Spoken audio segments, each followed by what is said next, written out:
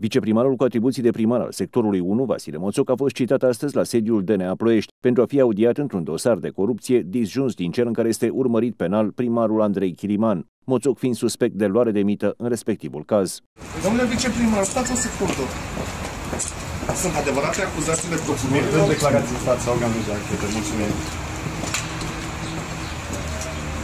De altfel, în același dosar, procurorii DNA Ploiești au audiat în ultima perioadă 16 consilieri locali de la sectorul 1, toți suspecți de luare de mită, între care Marinela Adam, Mircea Iorgulescu, Cosmin Marius Fodoroiu, Mircea Dan Stăncescu, Steliana Dinu și Pavel Bogdan. Viceprimarul din subordinea lui Chiriman lua cea mai mare mită, acesta încasând la plic 10.000 de euro după fiecare ședință de consiliu, în timp ce consilierii primeau 4.000 de euro în plic, între ei fiind și câțiva care nu voiau să pună mâna direct pe bani și preferau să încaseze mita indirect așa că foloseau firme care câștigau contracte de reabilitare cu primăria.